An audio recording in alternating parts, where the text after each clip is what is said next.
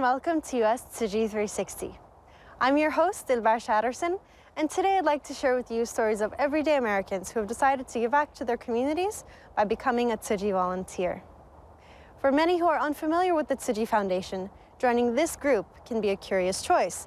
There's of course the uniform, the humble bow, but most prominent are the differences in language, culture, and spiritual philosophies. So in a melting pot like America, there are a lot of concerns when it comes to getting local support. In fact, in the book called Against All Odds, the authors pose this question. How can organizations incorporate separate racial, ethnic, and culture groups? What is the experience for people and groups in such organizations? In today's episode, you'll meet five volunteers who will help give some of those answers. So let's start in Southern California and meet Connie, who's building important bridges at the Medical Foundation. The USA has a population of 314 million. It consists mostly of Caucasians, African Americans, and Latinos. Asians form less than 5% of the population. The Tzu Chi Foundation faces an important challenge in inspiring its surrounding community toward charity. Welcome, Welcome to, to America! America. Welcome. The most difficult we face is about the language barrier. Tzu Chi originally from Taiwan, so most, most volunteers, they, um, they speak Mandarin Chinese. But for, for them to go out to the community and share the information in English, it's a little bit challenging for them. When they come in, they, were, they are volunteering, they wanted to participate. But then, um, then all of a sudden, like all the groups is speaking in Chinese. 然后收起来之后，我们要就靠在那个边边这个椅子。那我们把它移到那个旁边，等一下做运动的时候，然后把桌子就。What are you saying? Connie was our patient in Wilmington about when we opened three years ago, and when she come here, she has her health problem. Uh, I met Dr. Uh, Wu. She was very good with me. Uh, I felt that I felt her concern also. I know that a lot of my problems was because I was overweight. And then she just uh, suggested I eat more vegetables and, you know, try vegetarian, which I really don't all the time. I, uh, I do my best and uh, I come here a lot now to eat lunch. It's all vegetarian, so. And then she helps a lot in the clinic because uh, she speaks Spanish, and we are in the Hispanic community, also uh, liaison to the community. Okay. Adios. Martes. So last year, uh, during the TIMA, we had a chance to invite her back to uh, Taiwan. Everything was a surprise to me because I went blindfold. I was learning a lot of things I didn't understand why everything was had to be uniformed and in line. I felt like a soldier. So after she come back, we told her that we have this training class. Since 2013, volunteers overcame obstacles in translation and manpower. They designed a series of training courses in English that allowed locals to experience the world of Tzu Chi. I like, I like what they do and how they do it. It's the spirit of, of Tzu Chi that they have there. And you have to learn first in order to go forward and help anybody. When we go out, uh, we, you can use the same language and they understand much, much better. What I do is, is part of, of uh, people knowing who I am because I've worked in the community for many years. And they know that I, I, I feel that they know that I can be trusted. Very naturally, you don't have to translate. She can just speak it just from her heart. The message that Dharma has and the message that, that Tzu Chi has, is it's out there. What I've learned, I pass it on. I'm not keeping it just for me. I want everybody to feel like I feel and be happy like I feel hopefully we can it make really make a big impact in the Tzu Chi USA. And in the future, maybe we will see our CEO, the Tzu Chi USA CEO, not necessarily to be like Chinese speaking. It will be truly American. My name is Connie Calderon. I'm a Mexican American, and I'm also a Catholic, but I'm also a Tzu Chi volunteer. Connie's spirit mimics the same as many of Tzu Chi's aunties to keep going with unstoppable motivation, but at the same time, move forward with grace. Now we'll meet a Japanese volunteer who is doing something a little similar. And by trying to learn sign language, we'll see how he has put his mind, his heart, and his hands to work in an artistic way. August is so high, you like? August is terrible high. Before joining Tzu Chi, my husband and I went to a Japanese temple for almost three years. At that time, Tzu Chi held a blood drive event. That's how I joined Tzu Chi. My husband didn't really like that since he was hoping we would practice Japanese Buddhism together. So I told him, you would understand what Tzu Chi is doing if you come in and take a look. Tzu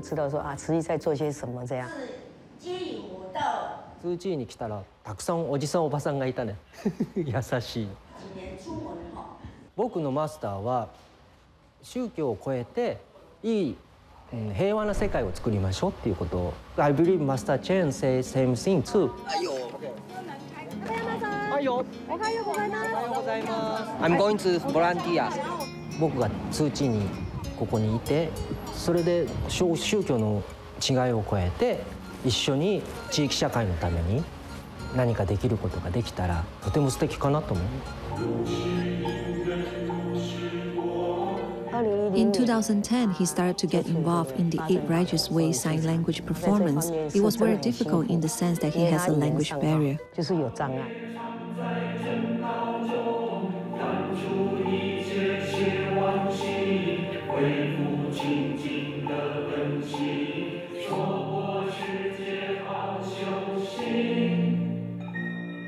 I tell him honestly, I don't understand what they say. Even though Japanese and Chinese are somewhat similar, but for him, he spends a lot of time on overcoming the language barrier. パーツェンターのせ総意、うん、やってそれでもまたよく聞いてそれでそのうちにだんだんと頭の中に音がメモライズされていく Actually I put in the computer and then do it and then draw it Draw? You can remember easier Master says to become professional, put your heart into it. He's doing the same with his chanting.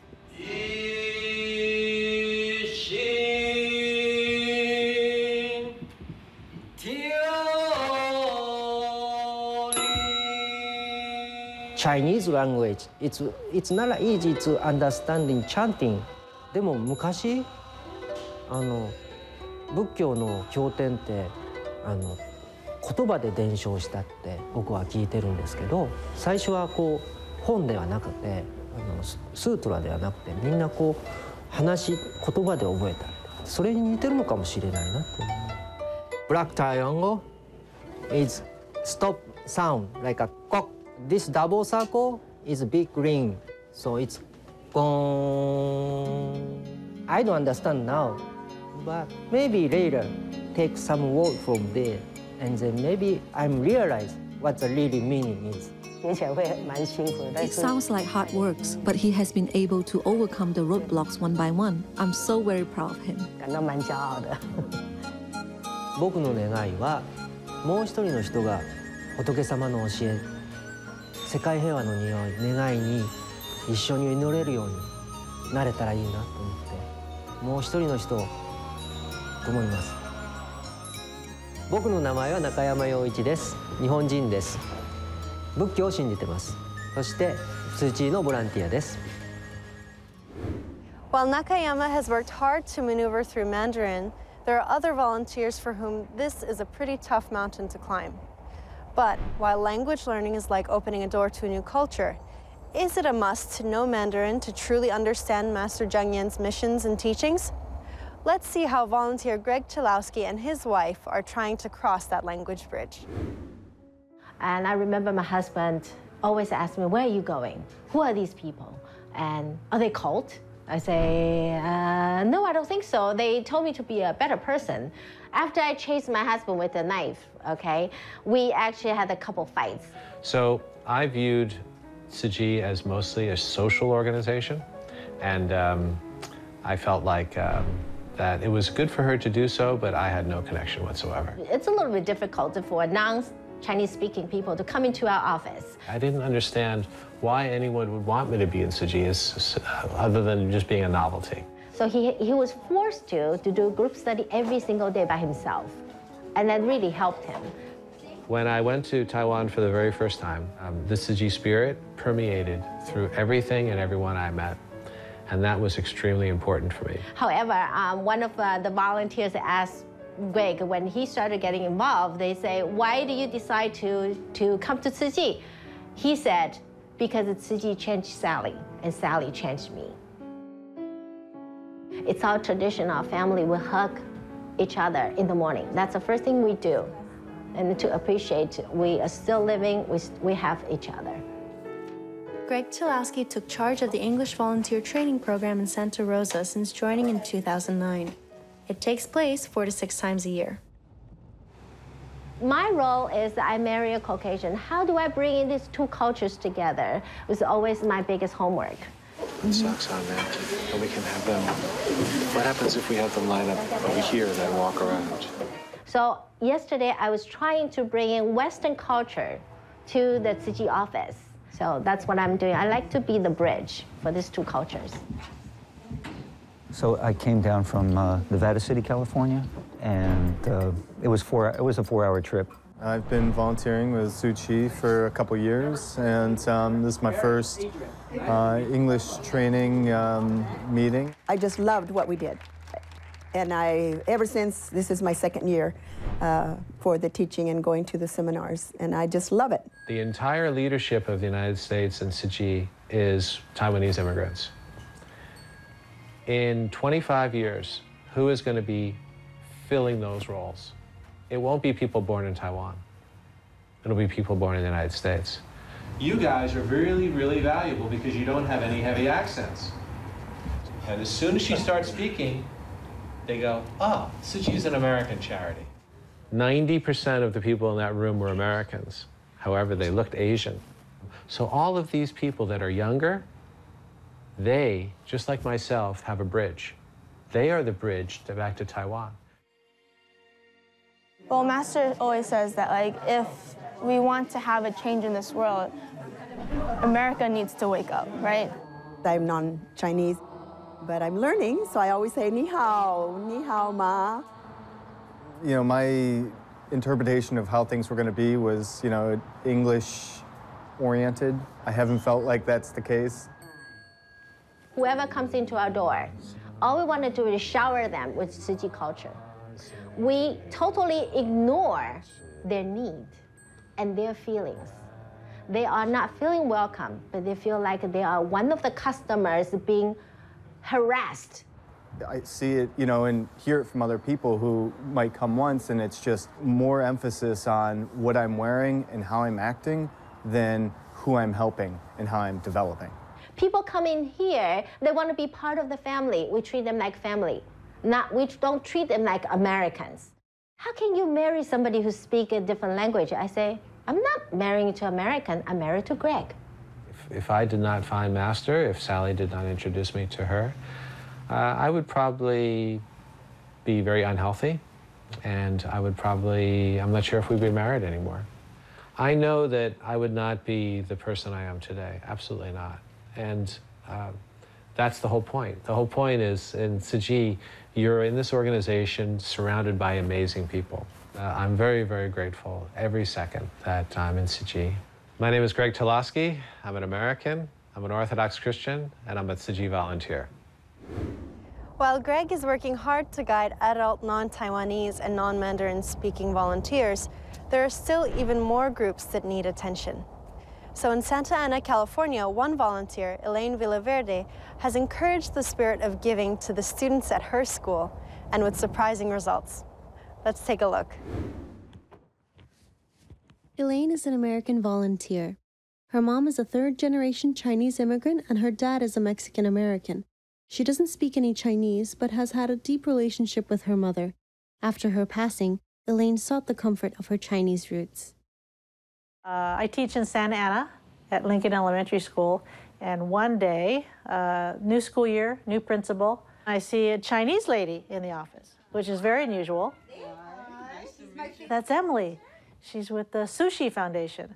In Santa Ana, 99% all Mexicans. Anna said she's the lady from Tzu and giving us 60 backpacks. And then they pack the backpacks with all of the food items and once a week, every Friday afternoon, the children go home with a backpack full of food. So we're very thankful You're that welcome. she's here. I would love to help with the program. She volunteered to help me. She says, uh, my, I'm teaching fifth grade. Um, I have 30 students every Thursday came in to help me pack the, the food in the backpack. Okay, who's helping with Happy Campus? Grab some bags. I'll meet you in the MPR. So my students pick them up daily, and then on Thursdays, we take all the backpacks to the multi-purpose room, and we meet Emily and all the other uh, Tzu Chi volunteers. We arrange all the food on the tables. We count all the bags. We count the food on the tables. Then we get the backpacks and put the food inside and lay them down over there for the people in Hampton campus. because it's for the people that don't, don't they can't afford food for the weekend so they could eat. getting ready for distribution on Friday. A few of the volunteers who will get in trouble during the day, they wouldn't do their homework or they would misbehave, but something inside me told me never take away Happy Campus. That's almost gonna make me, me emotional right now. I would I could bench them, I could take away recess, but some things I just never wanted to take away Happy Campus. They were the vests, They, they guide the little schoolmates, and they feel very proud to be part of us. And one of my students from last year gone on to another school, and she said, I love helping Tzu Chi because it makes me feel like I'm a good person. And I thought, perfect. That's what I want them to feel. So last year, we have the 24 students from the fifth class, and uh, they are special class. So we are hero. And without Miss uh, Elaine,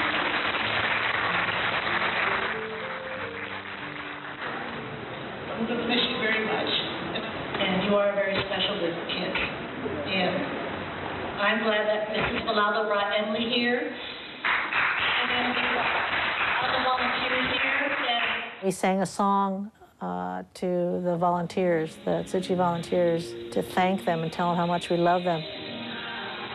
And the boys started sobbing. The girls were crying. They were hugging each other, and, and I'd never seen children do that. And that was just so special to me to see that I know there was a change. So uh, I love the fact that, that these kids get to meet some of the Tzu Chi volunteers. Their selflessness and their, their desire to just help help someone else. maybe one day I can find some volunteer like Elaine in every school. Then we can expand our Happy Campus program in 63 school in Santa Ana. My name is Elaine Villaverde. I'm Chinese Mexican American, and this November I'm going to become a Tzu Chi commissioner. We have one here. While Elaine has plans to solidify her commitment on the West Coast, we've got some equally inspired volunteers here in the East. After Hurricane Sandy, Mark Romaine found his volunteer calling at the New Jersey chapter office, and guess where? On Google. Since then, he, his wife, and niece have made room in their busy lives to contribute to the food pantry program there. So let's see what's on their menu.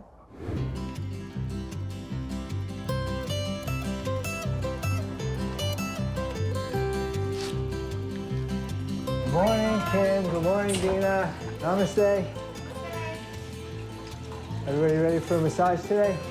My name is Mark Romaine, right. and I provide uh, therapeutic massage. When I was about 16 years old, I started becoming uh, interested in questioning the world around me. And uh, for many years, I practiced Buddhism. I had a conversation with my girlfriend at the time, who I ended up marrying. My name is Ellen, and I'm a nurse. There's not too much Buddhism growing up. I wanted to be in communion with other people that uh, practice Buddhism. So I just went on the internet, the famous internet, and I looked up uh, Buddhism organizations in New Jersey, and I found Tzu Chi. When I read uh, Master Cheng Yen's biography, it changed my life, and I just knew I wanted to be a part of it. I had a half day of work, and I, I went to the building, and I was hoping to help out because we had just been uh, hit with Hurricane Sandy in New Jersey. We were prepared for the uh, Sandy hurricane to do the distributions, and uh, it was a raining day. I knocked on the door, rang the bell, people let me in. He walked in and he said he uh, Google looking for Buddhism uh, organization in New Jersey. They said, you could jump right in. We have plenty of work for volunteers. He has the volunteer form filled out already. Yeah, so I think he's ready and he's the one um, we are looking for. Within three months, I was working at the food pantry. How are you today? It's very uniting for a husband and wife to carry a weight with each other. There's a lot of different opportunities. I can use my nursing here. I, I can do the food pantry here. I welcome people and I have helped them to sign in. Being here, you learn. A, I've learned a lot from them as well as I've learned a lot about myself too. It's amazing.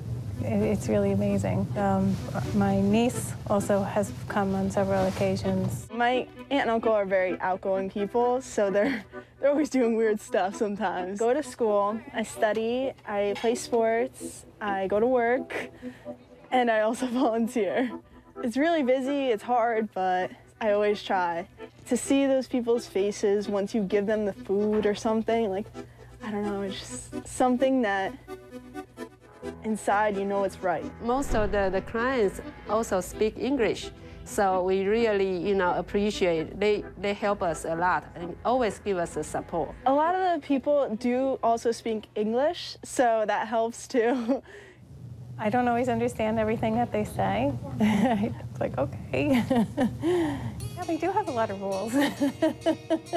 the uniform, the white pants, I said you could really get those dirty easy. I remember one day I was sitting and I had my legs crossed and they're like, no, no, no. And I'm like, okay. But then that shows how much uh, dedication you have. When we have lunch together, everybody brings something.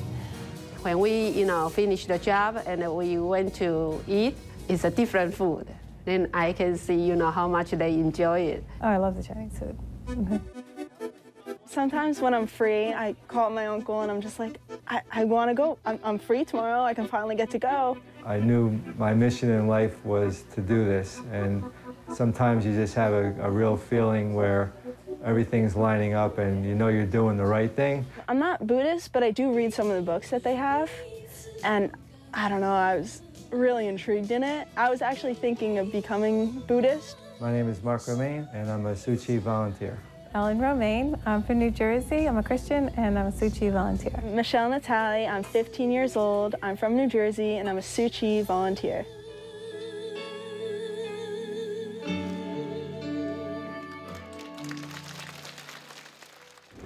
Mark and Ellen's sacrifice and dedication are among many that you'll see in Tzu USA's diverse faces.